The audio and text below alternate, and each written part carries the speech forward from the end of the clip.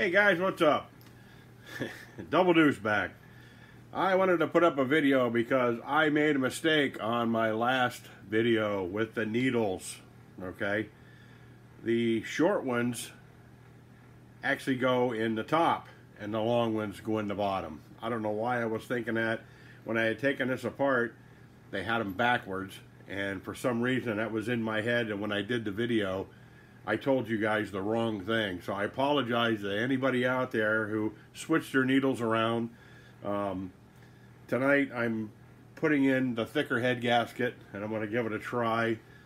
Um, you can see it's pretty thick there, so I don't know how it's going to affect the performance of it or not. But uh, like I say, I wanted to stress this as much as I could. Short needles in the top, long needles in the bottom, okay? Um, mine were all Loctited in. I had a heck of a time getting them out, and there's just no excuse for what I said. Um, I had them backwards. I'm sorry.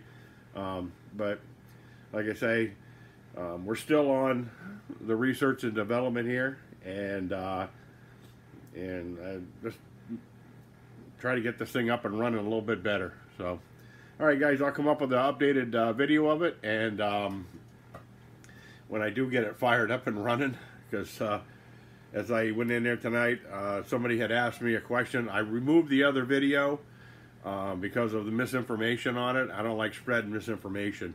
Uh, there's enough problems with this engine as it is without me out there throwing out some misinformation. So, but so I'll be back on an update, and uh, I hope you guys have a good one. And I'll catch you over the Thanksgiving weekend. So, later.